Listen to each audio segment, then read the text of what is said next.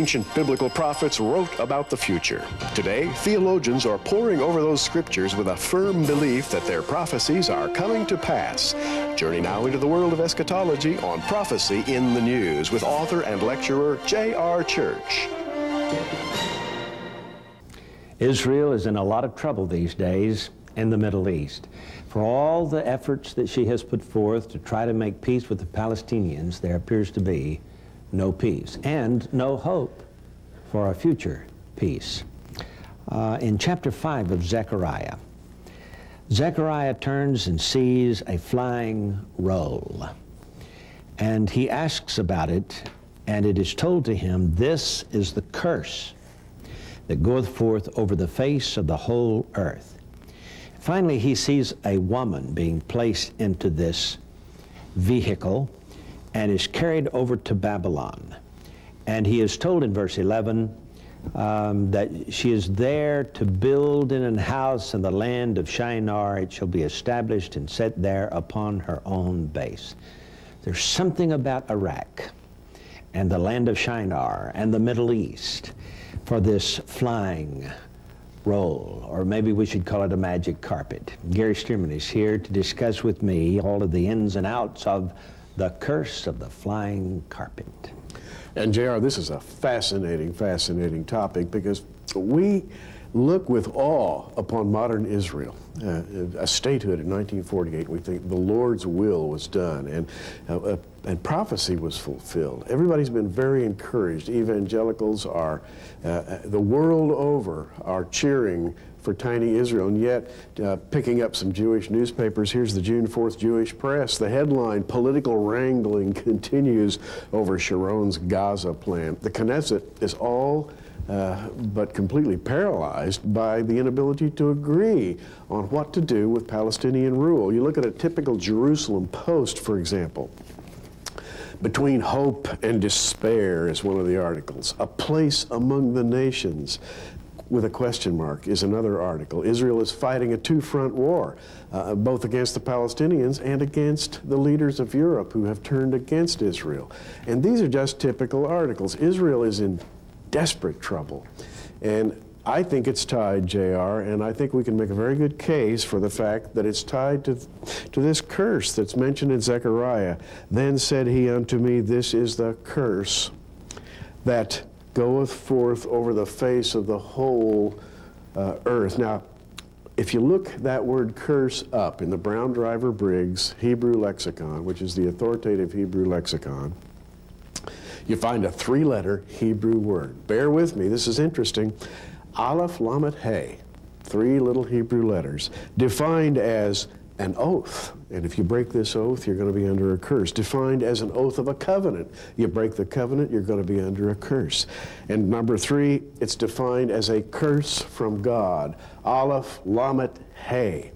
JR, I'm holding here a modern Hebrew language dictionary. This is the Bantam Hebrew Megiddo Dictionary that's used all over Israel, all over the world. And I find that little three-letter word, Aleph Lamed Hey, in it. I look it up, and guess what it says? Allah. Allah, capital A-L-L-A-H in modern English, defined in the Old Testament as a curse. Over 2,000 years ago, the Hebrew prophets wrote that in the last days Israel would be under the curse of Allah. It's there in the Hebrew. You can look it up for yourself. This is absolutely incredible, Gary. Yes, it is. This curse of the flying carpet is actually the curse of Islam. And it flies over the whole world. Now, the fascinating thing, and the figure of this curse, by the way, is a flying roll, uh, and, and Zechariah saw this flying roll 20 cubits long, 10 cubits wide. That's huge. That's 35 feet long and 17 and a half feet wide in uh, modern measurement. And if you think of a flying scroll or roll being unrolled and flying along, it looks exactly like what? A flying carpet. And this flying carpet is a, has a rich history in Arabian mythology, right? Absolutely. And, um, oh, in stories like uh, the Arabian Nights. Mm -hmm. in stories like uh, Ali Baba and the 40 Thieves Oh, yes. or in uh, Aladdin and his lamp and his magic carpet. Oh, yes. When you get right down to it, it is the curse of Islam. Uh, for the very word Allah here, pictured as a flying carpet of sorts, is called Allah. And that's exactly what we have today. And Gary, not only that, but she goes over to the Euphrates uh, River area to Shinar and is established there upon her own base. Is it possible that the interim government that is being set up, or maybe I should say the Islamic government that is being set up in Iraq, that our government is turning over to the Iraqi people, will actually be a rogue government when it's all said and done? Uh, very likely. You know, JR, when we look at this curse, and, and I know many of our uh, viewers may be saying, well, this, this sounds a little bit far fetched to me. So let's go back.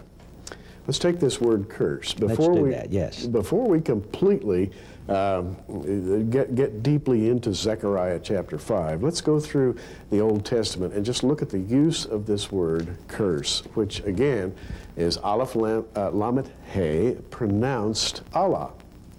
You look at, uh, for example, Numbers 5:21. Um, a woman accused of adultery brought before a priest of Israel. Then the priest shall charge the woman with an oath of cursing, and the priest shall say unto the woman, The Lord make thee a curse and an oath among thy people. That's the word Allah uh, to, that's used to apply to a woman who uh, has committed adultery. Or who is accused of committing adultery? like accused thereof. And the test that they have, to, um, according to the book of Numbers, the test that they give to her is if she is guilty, then uh, this um, water that she drinks or liquid that she drinks will begin will be, become bitter. Right. In other words, her guilt will actually cause her harm. Yeah, and, and JR, in Numbers uh, 527, the, the last clause in 527 uh, says that she's found guilty, the woman shall be a curse among her people. In other words, she'll be outcast. And the word curse there, again, is Allah. Yeah, that's amazing, isn't it? Oh, but I like the one in Deuteronomy 29 because this takes us to the last days, to the last generation, doesn't it? Deuteronomy, uh, again, 29, and let's start with verse 12 here. Uh, speaking of a covenant, uh, this is the parties of the covenant, uh, and Israel is urged to keep this covenant, that thou shouldst enter into the covenant of the Lord thy God, into his oath, and that's that word Allah, which if broken becomes a curse, which the Lord thy God maketh with thee uh, to this day. Skip down to verse uh, 14, neither with you only do I make this covenant and this oath, which again, if you break the oath, it becomes a curse, Allah. And finally, in uh, verse 19, and, and it shall come to pass when he heareth the words of this curse, uh, that he bless himself in his heart. Well, again, that word curse is Allah. Uh, it's an imprecation, it's an oath. If you fail to live up to God's requirement for you, you'll be subject to this curse, and it's spelled Aleph, Lamed, He, or Allah. And that's not the end of this in Deuteronomy, yes, that's is it? right. No. You've got uh, curse in the next two verses as well. And then in verse 22 it says, So that the generation to come of your children that shall rise up after you, and this word generation to come is Hador Akaron. That's right. Meaning the last generation. And Gary, I think we live there today in the last generation. I think we are seeing the curse. It's spreading across the Middle East and yea, around the world. Yes. It is Islam. And JR, we love uh, Israel. We love the Israeli people. We love the idea of the restoration of the Temple Mount. We love the idea of the 12 tribes returning to Israel because that's what God has promised in the kingdom age. We know that uh, prophecy tells us that we're being prepared uh, for the event of the ages, the regathering of the people. And so we lament when we find them under a curse, but the Bible, JR, explains why they're under this curse. It's interesting to me that 700 years ago, a rabbi wrote that just after the turn of the millennium, that's where we are right now, that the children of Ishmael will bring the whole world to war against Jerusalem to kill the Jews, to eradicate the Jews from the face of the earth. And you know, that speaks to me of Armageddon. So it looks like this vast army that is going to come into the Middle East against Jerusalem, against Israel, for the purpose of genocide, to destroy every Jew alive, will be the curse of Islam. Allah's behind it all, isn't he? Allah, which, by the way, is a, a perversion or a, shall we say, a variation of Elohim, which is the name of the, of the true God, uh, the God of uh, Abraham, Isaac, and Jacob. And if you simply take the beginning of Elohim and, and remove it and then uh, spell it Aleph, Lamed, Hey, pronounced Allah, it becomes a, a perversion of the true name of God and is thus featured in Scripture, no matter where you find it. Mm-hmm. In the wisdom of the Hebrew alphabet, we have the various meanings of the Hebrew letters. And it's interesting to me that Rabbi Munk wrote that uh, they are the components and that there are various ways of using this. And he likened it, for example, to uh, hydrogen and oxygen, if put together in one form, can make water, but if put together in another form, makes hydrogen peroxide. And uh, so I, I, would say that there is a negative and a positive use for this Aleph Lamed Hey. Absolutely, JR. And we must take a break right now. When we come back, we have some very exciting discoveries to share with you. In Psalm 10, that of course is in the uh, first book of the Psalms, the Genesis book.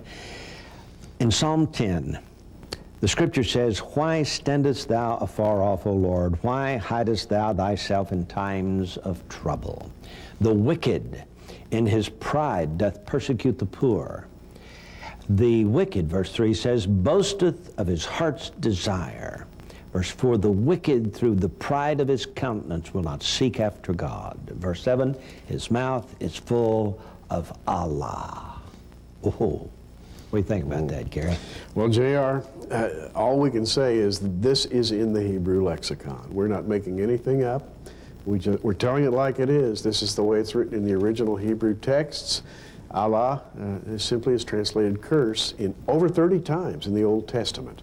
Uh, I think up to 36 times, if I've counted correctly. Don't hold me to that, but, but that's enough to establish uh, the meaning of this word. You go to Psalm uh, 59, JR, which is uh, a prayer for deliverance from violent men. And it says in verse 12, For the sin of their mouth and the words of their lips, let them even be taken in their pride, for, and for cursing Allah and lying which they speak. Uh, now, JR, when, when the, the Jews came back to Israel, there they met Islam head on. It's a head-to-head con confrontation with Allah, and we hear it, we read it in the newspapers, it's on the radio, the television. Why shouldn't it be in the Bible? And it certainly appears to be. Yeah. That's, this is an amazing verse here. Yes, it is. Because it talks about their, the sin of their mouth, the words of their lips, their lying, and their cursing of Israel. And, and they say, consume them in wrath, consume them that they may not be. Let them know that God ruleth in Jacob unto the ends of the earth. And their cursing is Allah. Mm. It's amazing. Well, let's go to the next one, Gary. And, and uh, JR, as we move along here, and there are many verses, I don't think we have time to cover them all, but uh, Isaiah uh, 24 6. Isaiah 24 6 is often referred to as the little apocalypse. That is, the, it's the tribulation, it's the judgment of the world. And you have here this statement Therefore hath the curse devoured the earth, and they that dwell therein are desolate. Therefore, the inhabitants of the earth are burned, and few men left. Well, J.R., uh, the word curse in this verse is Allah. What can I say? Yes, God is calling Allah a curse. Yeah. And it goes on to say, Behold, the Lord maketh the earth empty, and maketh it waste, and turneth it upside down, and scattereth abroad the inhabitants thereof. This is what this, this is the theme of this particular chapter. It goes on to say that Allah has devoured the earth. And uh, of course, uh, this, this is the problem in the Middle East today. And even though our politicians may say that Allah is a good God, that's not what God says. He actually calls Allah a curse here. What's the next one, Gary? Well, there are many in Jeremiah. I'm just going to pick out Jeremiah 20, uh, 29, 18. uh, the, speaking of Israel in diaspora and calling Israel vile figs or rotten figs that cannot be eaten, uh, which is a figure of uh, apostate Israel. And the 18th verse says, And I will persecute them with the sword, with famine, with pestilence, deliver them to be removed to all the kingdoms of the earth, to be a curse and an astonishment and a hissing and a reproach among all the nations uh, uh, whither I have driven them. And the first word there, curse, where it says to be a curse, that's, that's the word Allah. Mm. Amazing. It's about as clear as it could possibly be. Yes. Now, you've written an article about this for our next magazine, and uh, it would be good if you could get the article and read all about it. And we encourage you to do so. Uh, let's go to Jeremiah chapter uh, 42. Yeah, Gary. go ahead and read that one. Uh, well, okay. He says here in chapter 42, uh, For thus saith the Lord of hosts, the God of Israel, As mine anger and my fury hath been poured forth upon the inhabitants of Jerusalem, so shall my fury be poured forth upon you when ye shall enter into Egypt, and ye shall be an execration, and astonishment, and a curse, and a reproach, and ye shall see this place no more. So there he, he speaks of a curse again and uses the term Allah. And uh, this is often used where Israel uh, makes uh, a, uh, shall we say, an unclean uh, agreement with other nations in violation of the covenant of God. Now, JR, we're running short on time, so let's come down to the meat of the matter. let's go back to Zechariah, but before we do, let's talk about Daniel. Uh, and it's been pointed out by, by uh, other students of the Bible that Daniel 9:11 contains this word, Allah. Uh, Yea, all Israel have transgressed thy law, even by departing, that they might not obey the voice. Therefore the curse is poured upon us, and the oath that is written in the law of Moses, the servant of God, because we have sinned against him. And that word curse, JR, in Daniel 9, uh, 1 1, is Allah, which to me combines a lot of features. Now, Daniel chapter 9 has this incredible story of the 70 weeks. And of course, it concludes with the 70th week in verse 27 when he, whom uh, most theologians agree to be the Antichrist, shall confirm the covenant with many for one week. That would be the seven year tribulation period. And in the midst of the week he shall cause the sacrifice and the oblation to cease, and for the overspreading of abominations he shall make it desolate, even until the consummation, and that determined shall be poured upon the desolate. And all of this, this curse upon Israel, is termed Allah. Amazing. It, it, you know, it, it goes back to Jacob and Esau. It goes back to a feud among cousins, and we've talked about that many, many times. It goes back to who owns the land, this long dispute uh, that, that's been raging now for centuries. It goes back to the 6th century, the birth of Islam, uh, which, by the way, says uh, Father Abraham is our father, and his blessings are conferred upon us. Meanwhile, the Jews over here also talk about Father Abraham. And so what we have here is a raging battle which should never have been raging had Israel kept their covenant. Yeah. And it's interesting to me that uh, Islam says that uh, Abraham offered Ishmael instead of Isaac yes. upon the altar, and that the angel of the Lord withstood, uh, withstood him or mm-hmm. stayed his hand. And also that Abraham and Ishmael went over to Mecca and built this, uh, right. this black uh, edifice uh, that uh, where all of Islam goes to worship today. This is amazing. It's truly amazing, and, and J.R., it's amazing in the fact that uh, the Lord promised to make Ishmael a great nation.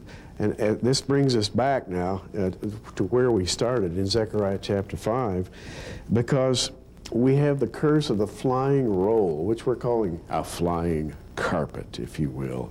And the angel told Zechariah, this is the curse, Allah, that goes all over the, all over the face of the whole earth.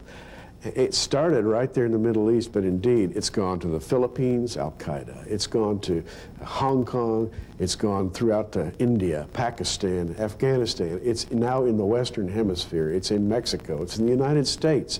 It's covering the whole earth. And the important thing about it all is that Islam or Allah will continue to be the curse until Jesus comes. Now, I think his coming as soon, but the important thing to see about this is we're not going to be able to solve the problem. America, with its mighty military, will not be able to stop Armageddon. Armageddon is coming regardless. There will be a world government, whether it's Europe or whether it's the um, United Nations, whatever it is. There is coming a world government and an antichrist who will rise upon the scene, and Allah will be in the thick of the mix all the way through to the Battle of Armageddon. Don't forget that. And we got ourselves in a mess over in the Middle East, but the only one to solve it is Jesus. We'll be back in just a moment. Well, it's been an interesting program. The Curse of the Flying Carpet. or could this be an airplane? Could this be one of the planes that flew into the World Trade Center? Ooh. Could this be a reference to all of the warplanes that are creating this problem throughout the earth? This is the curse, said God, and he used the word Allah. And J.R., uh, the flying carpet is indeed uh, a figure right out of Arabian myth. And also, uh, Zechariah chapter 5 ends with the woman flying in the ephah back to the land of Shinar. That's Babylon. That's, that's uh, uh, Iraq. That's where our troops are today. So if you don't know Jesus as your Savior, you need to trust Him today. He alone can give you eternal life. This is J.R. Church and Gary Stearman. Until next time, keep looking up. Prophecy in the News is a viewer-supported ministry sponsored by our many friends across America and in your area. For your gift of $10, you can receive a special edition of our current program on audio tape, or for a gift of $20, we'll send you our programs on videotape. For either order, call the 800 number on your screen right now.